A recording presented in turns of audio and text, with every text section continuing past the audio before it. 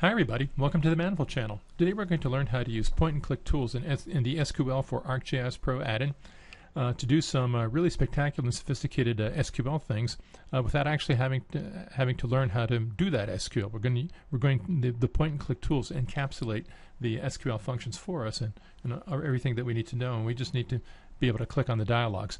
We're going to work with this map right here, which uh, shows uh, Canada, Mexico, and the United States. As you can see, there's that feature class borders as outlines. And these are simplified outlines taken from uh, uh, Natural Earth. And if I click here into the United States to uh, select that, you can see there's the outline of the border there.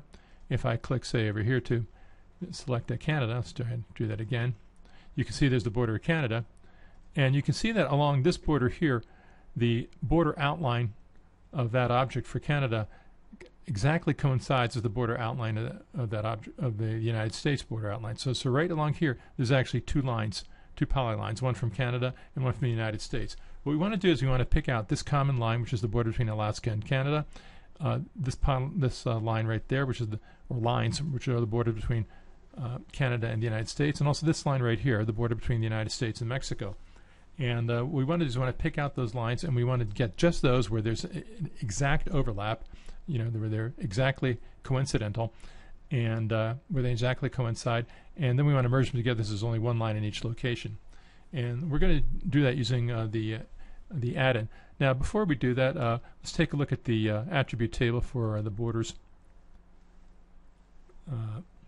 feature class. And you can see it doesn't have very many fields here. It just has a name, the, ge the, geometry, and the object ID. So let's uh, this is imported from uh, a, a, different uh, uh GIS package, and uh, let's close this. Uh, what I'm going to do now is I'm going to add a, integer field called count. I'm going to use the design fields dialog for that. So let's click here to add a new field, and the new field I'm going to count, call count. And the alias, let's make that count as well. It's going to be a numeric field, so let's save, applying changes. We could also do this in the add-in, but uh, I'll do this in uh, Arc, so in Pro, so that you know people that are more familiar with Pro will you know can see this. Now let's open up the attribute table, and you can see it has this new field called count, and there's nulls that have been added to it. Great. So now let's shift gears and let's go into the add-in. And the way to do that is click there to the add-in tab, and then click SQL to open SQL. So here's the uh, add-in that's launched, uh, and uh, let's let's expand it so it, it fills the uh, screen. We don't have very much uh, to view here, and uh, I'm going to get rid of these uh, various panes that I worked with earlier. When when the when the add-in opens up by default, the first thing you see it's going to just go to open up with the project pane like that. And what it'll do is it'll have the schema pane here that, that shows you the schema of, uh, of all the. It's going to be loaded with all the geodatabases that are used in the ArcGIS Pro project. I can open them like that, and it has here the the command window to do SQL with a uh, kind of a sample uh, starter query there, just to show you how stuff works we're not going to be using SQL today. We're just going to be using the uh, uh, uh, built-in panes. And the first thing I'm going to do is I'm going to take this borders table uh, that's uh, in the in the GDB. That's the feature class. I'm going to copy it, and then I'm going to click down here into this bottom part of the project pane and click paste. And what I've just done is I, I've I made a copy of the borders table and I put it into the uh, Scratchpad storage for SQL. SQL for ArcGIS Pro is actually a full-fledged spatial database. It's a parallel database. And we're going to be working in that database because that, doing that is much, much faster than working in the uh, file geodatabase. It's uh, probably 20 to 100 times faster than the file geodatabase. So it's a lot easier just to use the Scratchpad memory here. So here's our table, and you can see this thing called borders. And uh, that's the same borders uh, uh, table that we had. Uh, that was the attribute table in ARC. So, but it's a copy. It's it's not linked. It's an actual copy that's in local storage in Scratchpad.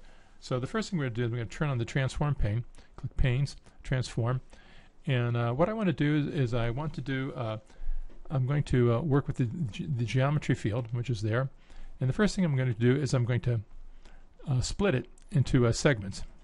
What I want to do is I want to take all the uh, the borders and to split the polylines into individual segments, and I want to split them into here segments. And I'm going to put that in a table called segments. And while I'm at it, I'm going to create a drawing called uh, segments as well. So we can visualize that uh, in the add, and the add can actually visualize it. Uh, if I click transform, that's now going to create a new thing called segments and segments drawing. If I pop up in segments drawing, you can see uh, that looks a little bit uh, grungy there because it, it, it's it's throwing in uh, dots where all the different segments. Each individual line segment, uh, what used to be one giant polyline, is now an individual segment, which you can see by picking various parts of it like that by all clicking it to select it. And let's deselect all those. Uh, let's go back here. Uh, and uh, what we want to do, what I want to do now is I want to on the segments table, I want to I want to do a self join to fill in this count. And with the and with the way the self join, it's going to be a spatial self join. And to do that, we have to use the join dialog working with the segments drawing. I'm going to click Edit, Join, and I want to do a self join between the segments drawing and the segments drawing. Every case where one geometry completely contains another geometry. And what I'll do here is uh, for the object ID, I'm going to take the uh, count of that and put that value into the count field. Uh, now, we're going here really fast. I'm not explaining all, all the different details of the drawing because that's all covered in the documentation, and there's lots of extensive documentation.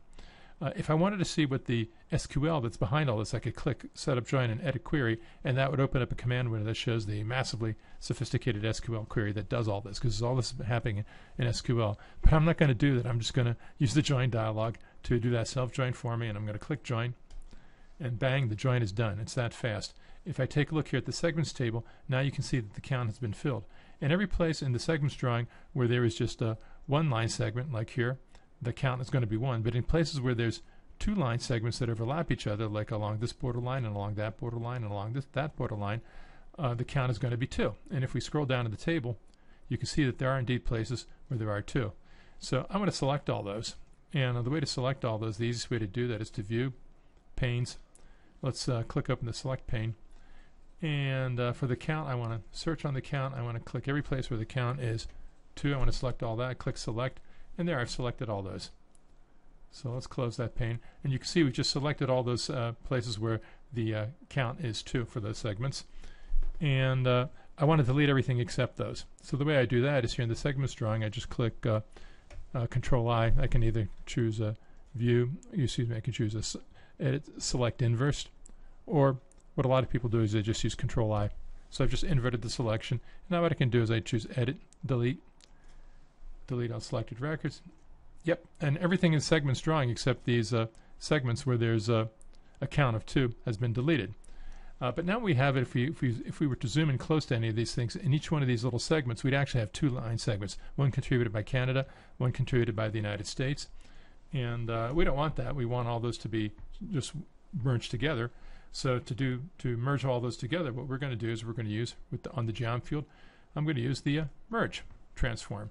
And what I want to do is I want to merge everything into uh, the line into a line. Uh, and I'm not doing anything grouping. I'm grouping anything. I'm just going to merge everything that overlaps into a single line. And I'm going to put all that into a new table called merged. And I'll also create a new drawing called uh, merge drawing. I'm doing everything here step by step, putting everything into intermediate drawings so you can see how the whole process works. Uh, if I want, I can do a preview that will show me how all these merges come together. You can see the blue lines that it's going to create. And uh, let's go for it. Let's create that transform. And so I've just created a new, let's get rid of this, let's get rid of that. Uh, and uh, let's turn, let's open up merge drawing. And now what I've done here is these kind of look the same way, but if you but if I click uh, control click on any one of them to select it, you can see control clicking on this one selects all of them. And if I open up the merge drawing uh, table, you can see there's only one object. It's a pretty big, complicated object. It's uh, it's got a lot of uh, uh, branches in it. These are all big branches. And if I alt click, uh, say one of these, that'll pop up the info, the info field, and I can see every place where there's this little symbol here, that's a branch. So the way all these things came together, it's one big, massively complicated uh, uh, multi-line, and that multi-line is composed of many different individual branches.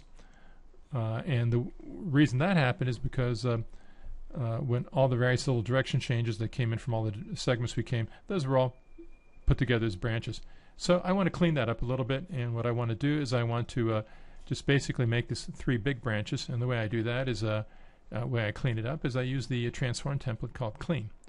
All this is being all all this is, is being powered by SQL in the background. So if I wanted to clean these, and uh, what I want to do for the geometry, I want to normalize the metric, and uh, if I wanted to see what the SQL for that is like, I can pop open a command, and that shows you how to use SQL commands to uh, to do the uh, clean. But uh, I'm not going to do that. I'm just going to uh, uh, use the uh, transform pane, which is point and click. So uh, let's uh, transform. We'll do that in place. And that's now cleaned. If I take a look at what, what this what this does, uh, I can now con control click on that, and that's that has all that is all one clean large multi-line. And uh, let's uh, deselect all that, and uh, uh, let's take a look at what the geometry of that looks like here by looking at the coordinates. You can see that where, whereas before all the coordinates there were all these different, you know, just about every segment was it with its own branch where they were merged together. Now there's only three big branches. So the final step of the process of what I want to do is I want to take this one big multi-line, which is three branches, and I want to split that out into by branches. So to split that out by branches, I'm going to use the transform. You guessed it, split. And I'm going to split into uh, branches, and I'm going to put those branches into a new table called common. And uh, we'll call it a common drawing. We'll create both the drawing and a table. And uh, that looks pretty good, so let's click uh, transform. And as you can see, that's created a new drawing and table called common. Let's get rid of that. Let's get rid of murder merged. And now let's open up common drawing. This all seems to look like the same thing, but but now you can see that these are all three separate objects. They're three different line objects, as we can choose see by selecting them in turn or by opening up the, the attribute table. So you can see there's one, two, three line objects right there. All right. Uh, the last thing we want to do is we want to get ready to export this. We want to put this back in the GDB. And what I'll do is I'll clean this up a little bit because you know we don't need the count field anymore. We don't need the MFD ID field, which uh, manifold, which, excuse me, which SQL for ArcGIS Pro automatically adds to uh, facilitate work here. This this is this is a separate ID field. Uh, so the way we'll uh, get rid of those is uh, we'll use the schema dialog, edit schema, and we'll just take MFD ID and count, and we'll delete those. Delete the indices that depend on those. Yeah, we want to delete this index there. Sure save changes, and there you can see the table is now just has those three fields, and those the that is what we're going to uh, uh, put back into the uh, GDB. And the way I'm going to do that is I'm just going to click uh, copy, and then click up here in the borders GDB and click paste. And what I've just just done is I've added that feature class as a table called common back into the borders GDB. So uh, that's now going to be available for use within ARC. And uh, to do that, let's switch back to the ARC session. And what I want to do is I want to add that common uh, the new uh, common uh, feature class into this uh, display, into this map. And to do that, I will, of course, click on Add Data. And uh, back here in the Borders GDB, notice that uh, it doesn't, it does not appear. There's, a, there's, a, there's an, a feature class called Common. That's because we have yet to refresh this. So what I'm going to do is I'm going to click on and click on here, and then I'm going to click on the F5 key, which is refresh. And ArcGIS Pro doesn't always pick up on changes in uh, file geodatabases if they've been changed by some other process. You have to refresh it. So now you can see there's our common layer. So I'll click that and click OK. And there, I've just added it. So if we turn off borders, you can see that, uh, turn off the borders uh, layer here, you can see there's our common layer that we've created. And this common, uh, that common layer uh, consists of uh, three separate objects. There's one, that's, that's the polyline. Here's another polyline, which is the uh, common border. Oh, come on. Common border between uh, uh, the uh, Alaska and Canada. And here's another common one, which is the border with Mexico. So that was our job, and uh, uh, to do that manually uh, using different tools, uh, you know, can take take a, a lot more. We did this in the SQL for ArcGIS Pro add-in using point-and-click dialogues. Uh, that saved us from writing a, a, lot of SQL. It saved. It also uh, by using the multi-step process and sort of saving each intermediate step in uh, Scratchpad memory, uh, we were uh, able to uh, do a very high reliability workflow. We could check our work at each step of the way and see exactly what we created. And if, there, if, if at any step we did something wrong, we could just delete that result and go back and and do it right, you know, from the prior step. So that's an extremely convenient way to work uh, it you know doing it the step-by-step way uh, is easier for beginners. It may seem like it takes a while, but getting the job right the first time and uh, uh, getting it done regardless how, how complex this workflow would work if we wanted to find common borders between, say, all countries in the world, or uh, not just uh, you know a, a, few polylines, but you know like you know 100 million records, it would still work, and it would work great. I hope you've enjoyed this uh, quick demonstration of how to use point and click tools. This is what's called advanced mode in SQL for ArcGIS Pro. It's uh, uh, but as you can see, it, can, it uh, results in some uh, really uh, nifty spatial power. so thanks for watching. Tell your friends, and goodbye from Manifold Land. Well, that was fun. If you'd like to see more, visit us at sql4arc.com. Remember, Manifold delivers the world's most advanced, highest quality spatial products for GIS and DBMS at a low price that you can afford. Thanks for watching.